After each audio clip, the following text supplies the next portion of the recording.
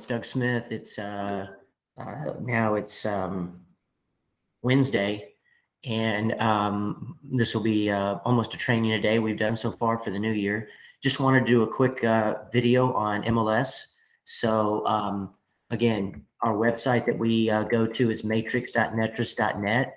I um, always put that on my phone and save it as a home screen, so I can. Uh, I think I was on the MLS at least 12 hours yesterday it seemed like, and six of them were in my car, pulled over at a gas station, just logging into MLS. So um, this is our screen. And once you log in, again, matrix.ntreis.net, um, once you log in, you're going to get um, a screen that has about 14 boxes.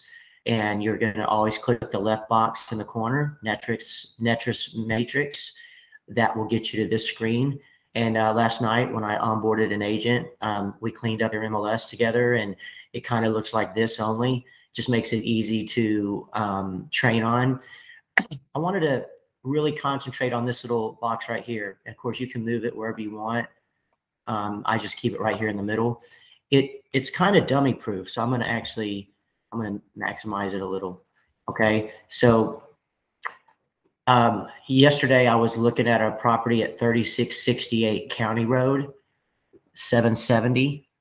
If I wanted to pull that up in the MLS and it's 3668 County Road, all I have to do is 3668 and a C and hit enter, and it'll pull up everything with that address. Okay. Uh, so that's one way to use this square. Another way is if you just knew the street name, Fall Meadow all you need to do is type in this uh, street name, you hit enter, and the MLS stores homes all the way back to 2003. So you could go down and look for the home and find it that way if you had to. It's just one way to to kind of do a um, trial and error. Okay. Um, let's say that you didn't know if it was one or two words. Fall, you could just go fall and hit enter. It's going to pull up every home since 2003 with an FALL in it. Let's say you go back to dashboard and let's say you know it's in Princeton. Um, well, the first thing you need to do is you'll type in Princeton. Now, to find the city quicker, you can put city, you pick one of the cities, and then real quick, type in, while it's still highlighted, type in the city real quick. So there's Princeton. And then if you just said, huh, it starts with a C, you could hit Princeton and C, and it'll pull up every single property in Princeton that starts with a C. And you could scroll down and find it that way. You can do it by zip code. If they know that it's on Fall Meadow and the zip code is 75024, you could do that and hit search and it'll pull up all the homes in that sub in that zip code since 2003 that start with FALL. The biggest thing that I find that people get confused on is when it says county road, because sometimes county road is spelled out and sometimes it's CR. That the, the best thing to do is to just put a C, and that way it covers both county and just CR, and then try to get this this the zip code, maybe the city, all that will eliminate um, you know properties to narrow it down, especially if you're having a problem trying to find a property.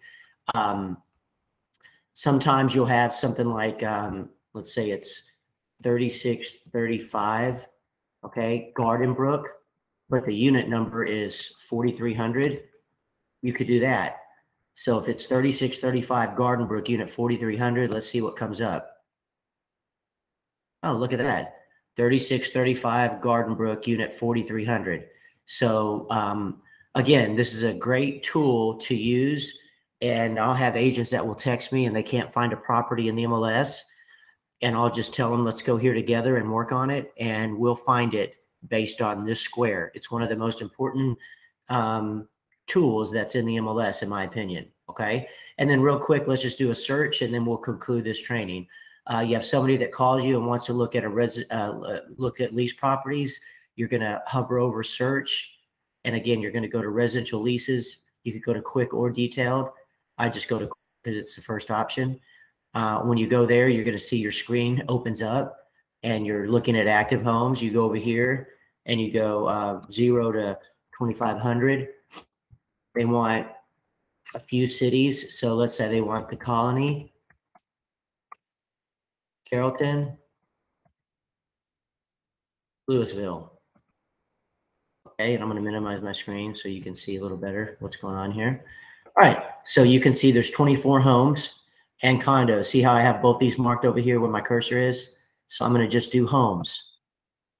And it went from 24 to 21. From here, they said they wanted a three bedroom plus. Still 21 homes. They wanted a two bedroom plus. There's 20 homes. And then they wanted a home built uh, 1997 and newer. There's three. So at this point, you hit three things. Results, save, new auto email. Results, save, new auto email. And you basically need to create the client. so it's Tim the tenant.